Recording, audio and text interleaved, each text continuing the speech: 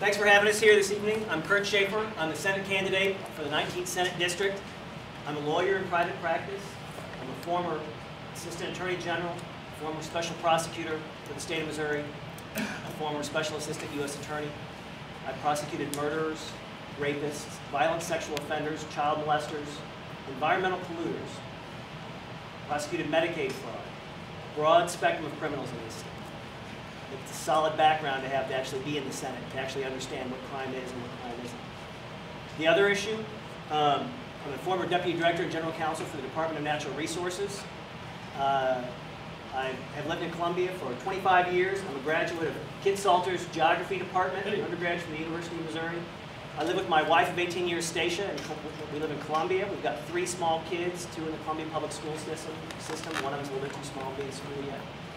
And I'm running for this Senate because we can do better. And whether it's my background of negotiating billions of dollars of sewer and water infrastructure improvements in St. Louis and Kansas City, prosecuting murderers, prosecuting anyone who violates the law and thinks they can get away with it, which is absolutely unacceptable, working to protect our environment. My time up? Uh, I can talk more later. Problem with a lawyer, I talk too much.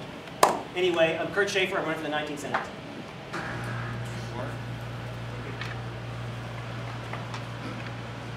How you? My name is Christopher Dwyer. Um, one minute.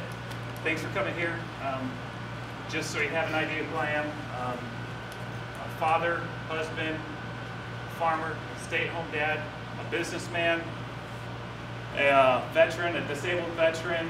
Um, I keep going on. I, I am a part-time employee, and I'm also a, uh, last but not least, an American. And with that being said, I think that will cover my minute. Thank you.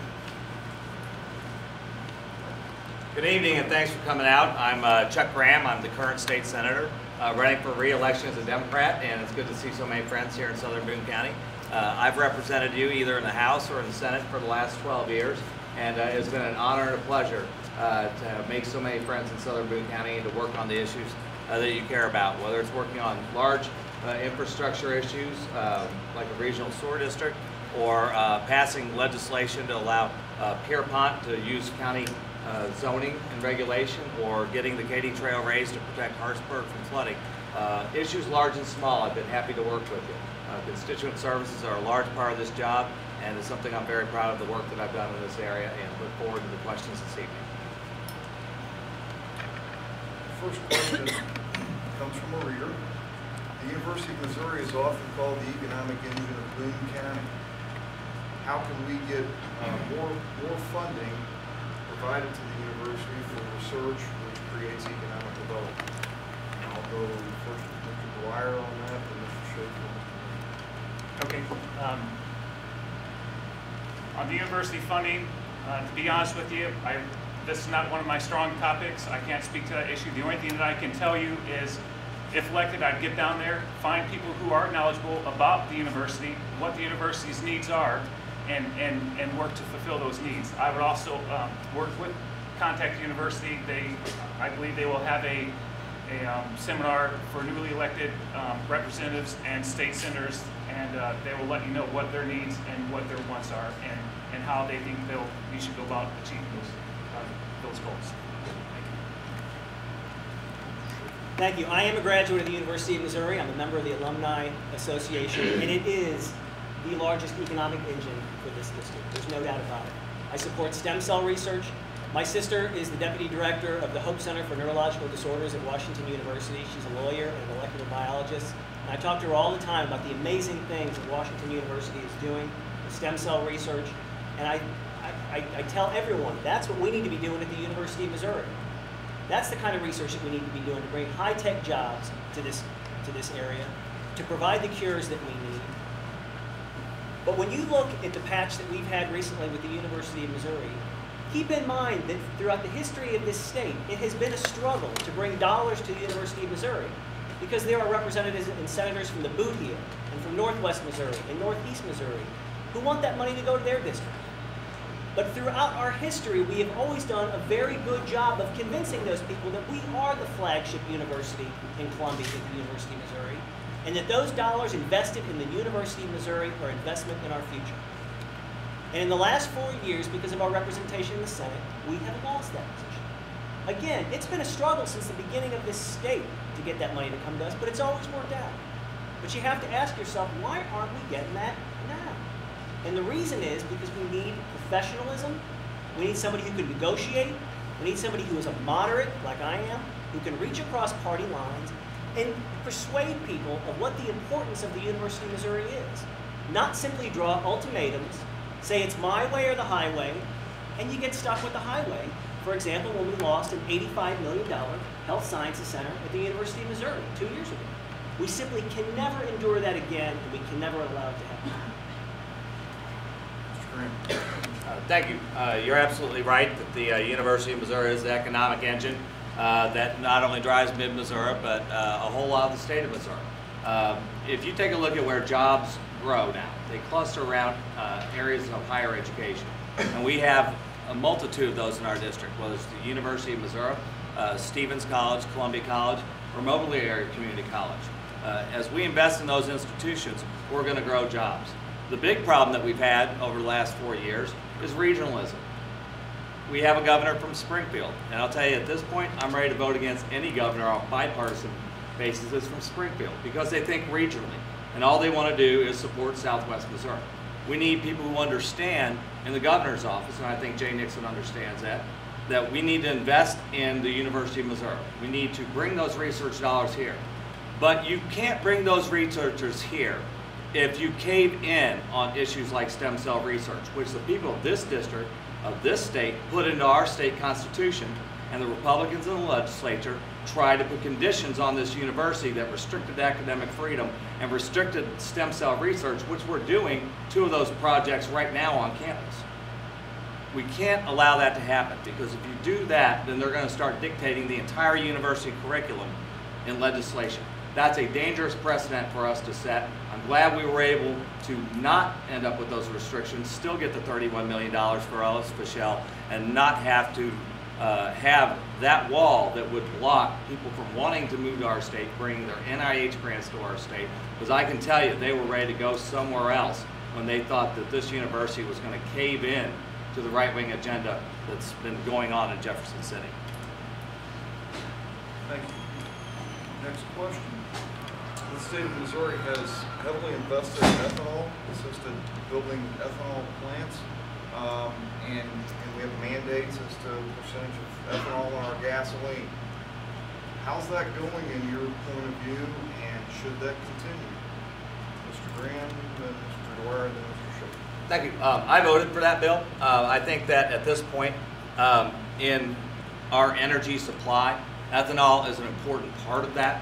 Um, I think that, however, that being said, it's a bridge fuel. Uh, I think that we need to invest, especially on a federal level, uh, much more uh, of our federal dollars into energy research and moving us away from fossil fuels, especially in terms of our vehicles. Uh, but between now and then, we've got to get from here to there. And ethanol is an important component of that. I realize it's controversial. Not everybody supports uh, the 10% mandate. But to be able to make it economically viable, we had to make it a mandate. And uh, we'll see how that goes. It's certainly something that if it's not working out over time, uh, the legislature should come back and revisit it. Uh, but at this time, I think it's a policy that's going to help us get from here to there until we have uh, cars that run uh, on flex fuel or uh, hopefully on electricity or some other battery project that hopefully we have a university researcher that patents it, uses our uh, new uh, small business development center that we're building at the University of Missouri to help us transition those things through our small business incubator and grow companies and jobs out of it. And it'd be great if they were located right around the airport, which I think is in Ashland these days, except for the airport. Mr. Dwyer? Yes, sir, thank you. Um, as a farmer, uh, and as a farmer of livestock, I'm not too keen on the, the issue of ethanol. Um, especially when we start making uh, ethanol from, uh, from corn. You know, as a farmer, like I said, I raise cattle, I raise pigs, I raise chickens and sheep. And me personally, I'd rather be feeding my animals the corn than feeding the, my truck that corn. Once again, I don't necessarily have a problem with the ethanol, but what I have a problem with is the mandated ethanol. I think if this ethanol product is such a great product, it should be able to stand on its own, and we as a consumer should be able to decide we want to use it or we don't want to use it. And I, I think that's enough said. Thank you. Thank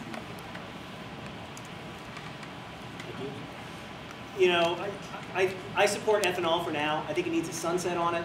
I think, I'm an environmental lawyer. I have a master's degree in environmental law. This is my law degree. Most of my law practice is energy and environmental law. That's what I do. I've litigated uh, energy rate cases in the Public Service Commission. I don't know how many of them, dealing with rate base and what it's fair to charge customers for building a new power plant. The issue of ethanol, I think, i- i- at this point, we have, we have to look at stimulating new markets. And by having the mandate, we allow the money to be generated to provide an infrastructure for that new market. I certainly hope that technology catches up, which it's doing very quickly, so we can, we can switch from a corn-based ethanol to a switchgrass-based based ethanol or some other cellulosic material that's not a food source. I think if we get to that, it'll be sustainable on its own. I don't think it should be perpetual. I think it should have a five to seven year sunset. I think when we review that, if it's determined that it's not economically viable, it's not the right thing to be doing, then we need to stop the mandate. Thank you. Uh, Third question, the 2005 cuts of taxpayer-supported healthcare services were alternately called immoral and necessary, depending on often which political party you belong to. What's the next step in state-funded healthcare? We'll go, who's first? Okay. I'll first. Do we have two minutes? Is it? Two minutes? Okay. First of all, there's no doubt that in 2005, when those cuts were made, Medicaid in the state was heading for bankruptcy. Everybody knew it, and the question is, why was it allowed to ever get to that point? The other thing that we've got is in 2005, only 70% of the people who were on Medicaid were ever checked for their eligibility. And in 2005, it was after that it was 100% check for eligibility, and there were hundreds of thousands of people that were found that had that should no longer have been on Medicaid, but were stealing Medicaid dollars from those that should have been on Medicaid. Again, it was very, very poorly run and very inefficient. Now, one thing that the Democrats don't want to tell you, and the Republicans don't want to tell you either, is since 2005, the Medicaid rolls have gone up 20%. Democrats don't want to tell you that because they want to make it look so draconian and they have to reinstate all of the cuts that were made. I do not agree with reinstating all the cuts that were made. One in five Missourians on Medicaid, the fourth largest state per capita in the country on Medicaid spending, is absolutely unacceptable and never, this, this state never should have gotten to that point. Do we need to constantly be re- reevaluating eligibility criteria to make sure that those people that need those services get those services? Absolutely. That's where we're working to now. Are there bumps in the road? Yes. Were the cuts draconian? They were. The system was in a very bad place, though. And I'm hoping that as we continue to redefine eligibility criteria and reevaluating who needs those benefits and who's been getting them that shouldn't have been getting them. And again, I think I'm the only person, maybe even in this room, who's actually prosecuted Medicaid fraud and seen it firsthand and seen how those dollars are stolen from people who need that money. We're working towards that, but it's going to take a little bit more time. I know people don't want it to take more time, but it's a very complicated problem, but I think we're getting to a better place. Thank you. Mr. Graham? I oppose those cuts. They went too far. They were done the wrong way. You know, if you take a look at the way they did the cuts, they would buy somebody with a severe disability a power wheelchair, but they wouldn't buy them a battery. Now, what makes sense about that? They cut what they considered optional services. Oxygen was considered optional. What's optional about oxygen? these were done wrong. And I think they were done by people who didn't understand the people that we were serving. And we've got to do a better job. And there are ways to pay for it. I'm glad that Kurt has prosecuted Medicaid fraud. The question you have to ask is why is there still half a billion dollars of Medicaid fraud in this state? Half a billion dollars. If we had just half of that, we could match the federal dollars that have gone back to Washington and gone out to Massachusetts and Illinois and Kansas and other states that are expanding health care coverage. We could just recover half of that. We could restore all the cuts to the people who've lost their health care. And you've got to ask the second question. What happens if we don't get this federal insurance where the state pays 17 cents on the dollar to get it? They end up at the university hospital with 100% uncompensated care, where the taxpayer picks up 100% of the bill. And instead of going to the local clinic and getting lower cost health care, we get the highest cost health care because everybody has a right to an emergency room. And that gets very expensive and it's something we can't afford. It's like the old Fram oil filter commercial. You can pay us now or you can pay us later. Right now, the later bill is going to be a lot more expensive than you can ever imagine. Mr. Dwyer? Thank you. Um, on the Med- Medicare, Medicaid cuts, um, I really don't know much about it, other than to say, without actually getting down there and seeing what's going on, um, I really couldn't say one way or another if they were, if they were cut too much. I, I will say that we obviously cut some people off those programs that did need it, as Chuck said, people who were, you know, we buy them a wheelchair, but not supply them with a battery. Um, I think that's just, that's, that's kind of crazy, that's insane. Um, so without actually getting down there and seeing what's going on, I really shouldn't speak to the subject. Thank you. Last question. Comes from a reader. Do you support providing tax breaks to lure new business to Boone County?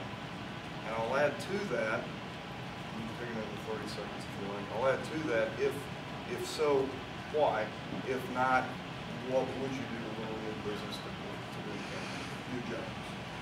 Uh. Graham? Um, I'm not in favor of that. Um, you know, we had an opportunity like that not too long ago uh, here in southern Boone County when Dollar General was looking at coming in here. Uh, and they were going to bring 300 jobs at $8 an hour, and they wanted to have 20 years of their property taxes waived. Well, what's that going to do to your schools here in Ashland? They're going to bring all these families with all these kids making $8 an hour, and we're going to lose the tax base for our educational system it doesn't make much sense to me. The General Assembly has gotten out of control with some of the ideas that they have, whether it's offering $880 million to a French-Canadian uh, aircraft manufacturer to come here, or we had a developer in St. Louis who through shell companies bought up property all over North uh, City, St. Louis, knocked out the doors and the windows so they would deteriorate more rapidly, and then asked the state for $100 million. Matt Blunt called a special session to give them $100 million.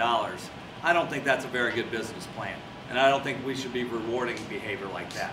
The way that you attract business, once again, is to invest in K through 12 and invest in higher education.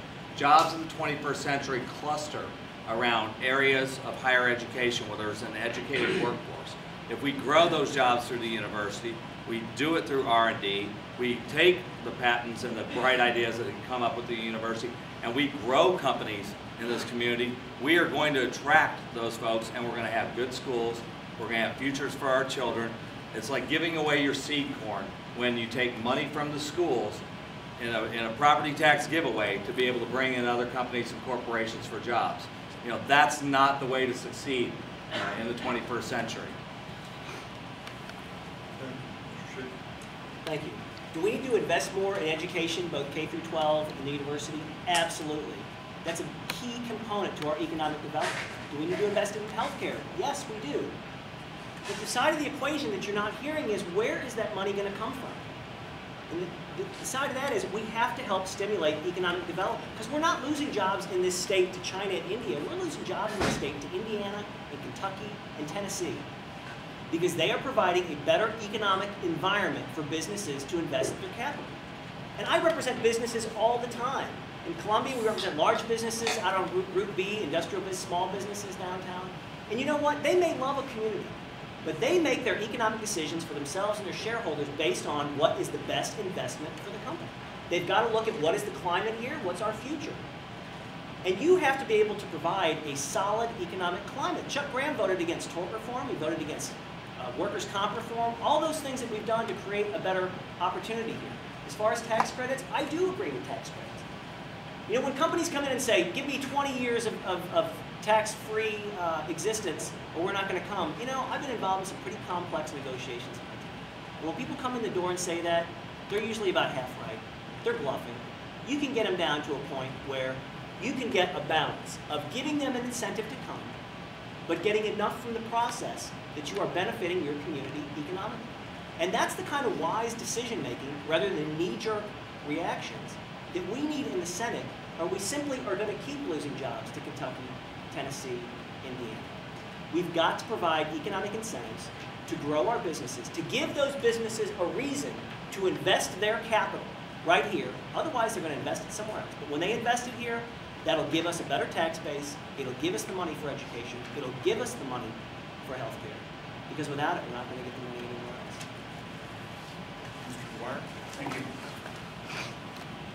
I would say this is more my issue here. How many have kids? More than, more than one kid? I have two kids. I cut them a piece of pie. Do I give them both the same size pie? Of course. Because if I give one kid a smaller piece, he's gonna complain. So, so tax incentives are a scam. We lose businesses because they go to Tennessee where they pay no state income tax. So why come to Missouri to locate here in Missouri and you're gonna have to pay Missouri state income tax when I can locate my business in Tennessee and pay no state income tax? That's one way to grow your economy. Lower your state income tax to zero, move it to a state sales tax, because technically, you're paying the tax, you just don't see it, it's hidden in the products. Every product, every service you consume, that tax is in there. And I think that's how you grow your economy here in the state of Missouri, and the state income tax. Thank you. Closing. Uh,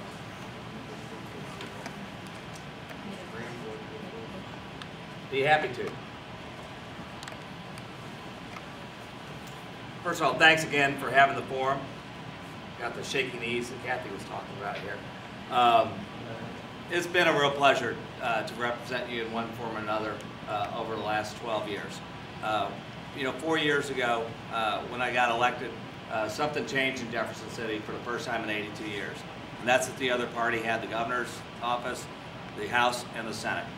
And uh, to borrow from Ronald Reagan for a moment, are you better off four years? Are you better off now than you were four years ago? I don't feel like that we are. Uh, our unemployment rate is high, uh, highest it's been in a decade. Uh, we're losing jobs. The stock market's collapsing. We have a lot of problems that have arisen, and we need to change those things. I opposed a lot of these things because I saw what was coming. And sometimes I was the only one, not always. We're going to get new leadership in the governor's office with Jay Nixon this year. And I look forward to being a partner with Jay Nixon.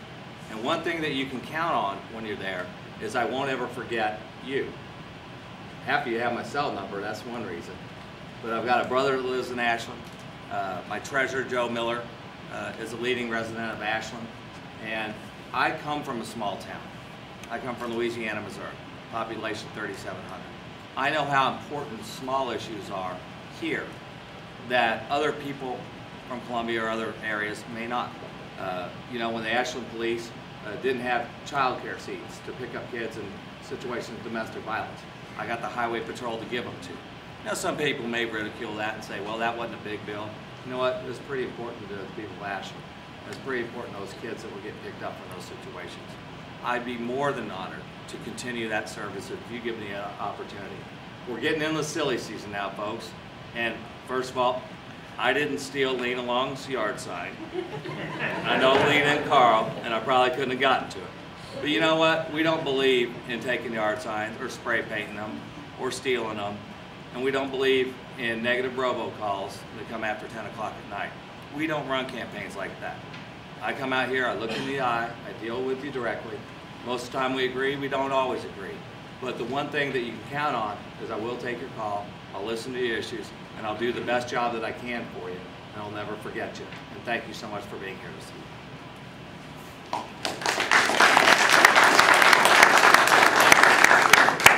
Folks, I'll make it plain and simple. Let me tell you what I don't. I don't believe that a senator who takes an oath to uphold the law, a senator on the Senate Judiciary Committee, who has taken an oath to reevaluate and constantly look at our court system and our judicial system and make sure it's effective, that somebody who violates the law, causes a three-car crash at twice the legal limit, and then lies in open court, and I'll show you the pleading right here, and says he didn't refuse the breathalyzer because he didn't want to have to, to enforce or follow through with the own law that he's required to, to, to carry out, losing his license for a year when he refuses to blow on the breathalyzer. He lied in court and said he didn't refuse. He's on video six times at the Columbia Police Department refusing to blow on the breathalyzer, yet he files a lawsuit in court that says he didn't refuse.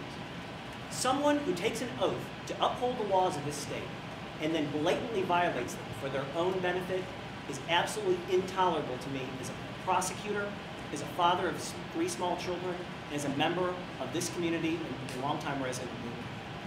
And let's talk about some of those other issues. The University of Missouri suffered its worst budget cut ever in 2002 under the Democrats in the majority and a Democrat governor. $100 million. That's the largest budget cut ever.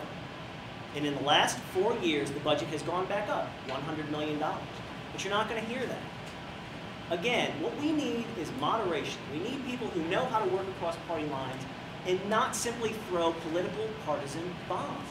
We need somebody who respects the office of state senate because we have lost all respect for that seat. Thank you. Mr. Dwyer? Thank you. Um, thanks for coming here tonight.